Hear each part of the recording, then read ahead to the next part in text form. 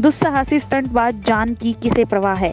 सड़क हादसे के दावों पर पानी फेरती हरियाणा के रतिया शहर के रतिया फतेहाबाद रोड की ये तस्वीरें। बाइक पर एक युवक दूसरे युवक को कंधे पर बैठाकर तेज गति से चला रहा था बाइक। दूसरा बाइक चालक बना रहा था वीडियो। स्टंटबाजी का पूरा वीडियो सोशल मीडिया में हुआ वायरल। ट्रैफ़िक पुलिस के पास भी पहुँचा वीडियो। ट्रैफ़िक पुलिस ने कहा, पहचान कर डेंजर ड्राइविंग का किया जाएगा चलान। पोस्ट से घर भेजा जाएगा चलान।